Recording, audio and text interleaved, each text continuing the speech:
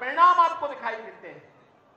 चाहे वह वैश्विक मंच पर सम्मान हो, देश की सीमाओं की सुरक्षा का हो, देश के अंदर आंतरिक सुरक्षा का मामला हो, चाहे वह कानून व्यवस्था की बेहतर स्थिति और बेहतर निवेश का मामला हो, चाहे वे विकास के कार्य हो, चाहे वे गरीब कल्याण की योजनाएँ हो, इन सभी का लाभ अगर आज आम जनमानस को प्राप्त हो रहा है, रामपुर में भी प्राप्त हो रहा है।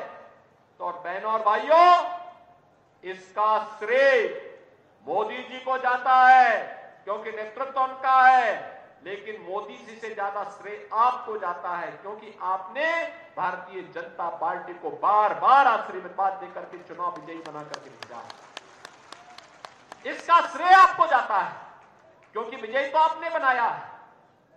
आप ही उनको चुनाव जिता करके बार बार भेजे हैं। तो विकास का लाभ और उसका श्रेय भी आपको प्राप्त होगा। पहले लोग चुनते थे लोगों को, वो दिखाई नहीं देते थे। विकास की बात नहीं करते थे, अपने परिवार की बात करते थे। लेकिन आज ऐसा नहीं है। आज तो लगातार जो परिवर्तन देखने को मिला है पूरे देश के अंदर। बहनों और भाइयों, इसीलिए मोदी जी ने कहा है कि हमें यह चुनाव विकसित भारत के लिए लड़ना है। विकसित भारत, जहाँ पे हर व्यक्ति की आय में कई गुना बढ़ोतरी होगी।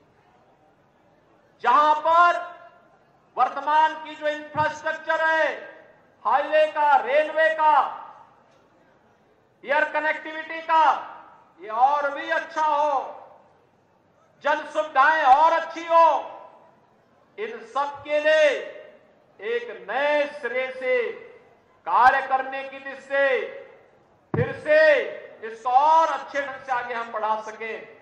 इसके लिए मोदी जी ने कहा है कि हमें विकसित भारत की संकल्पना को साकार करना है और इसके लिए उन्होंने टारगेट तय किया है कि तीसरा कार्यकाल दीजिए। पहले तीन वर्ष में भारत को दुनिया की तीसरी बड़ी अर्थव्यवस्था बना देंगे।